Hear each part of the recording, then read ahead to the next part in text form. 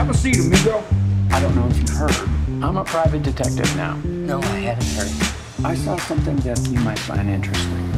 I know what you're going through, amigo. My husband and your wife are having an affair.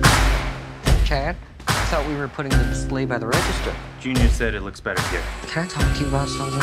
What? You're always contradicting me. How's anyone supposed to respect me?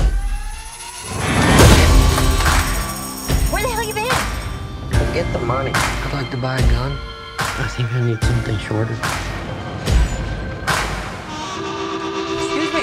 What are you doing? How are you gonna do it? Hmm? Are you gonna shoot him? You're gonna blow up his car. Oh, God. You were hired to kill him.